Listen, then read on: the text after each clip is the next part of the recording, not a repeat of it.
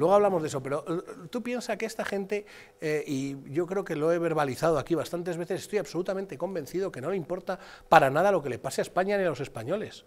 Esto es la prueba evidente. Esto es la prueba evidente. El ministro del ramo, que es que se nos olvida, porque parece que hace mucho que pasó esto que voy a decir, que es que dijo que le había venido a la política para quedarse. haga lo que haga, es que me da igual. Entonces, esta incompetencia y, este señor que recibe a, narcotraficantes en, el aeropuerto de Barajas, y, no lo digo yo, eh, lo dice el gobierno americano, eh, o sea, quiero decir, ah, bueno, pues está a otras cosas, a lo que tiene que estar, eh, que no es a lo que tiene que estar.